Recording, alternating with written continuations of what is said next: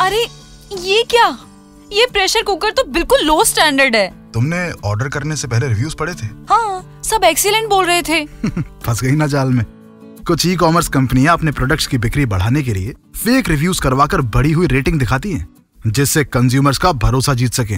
अब क्या करें? अपने अधिकार का प्रयोग करो प्रोडक्ट पसंद न आने पर कंपनी में शिकायत करो। साथ ही साथ तुम नेशनल कंज्यूमर हेल्पलाइन 1915 पर कंपनी के खिलाफ शिकायत दर्ज करवा सकती हो। जादू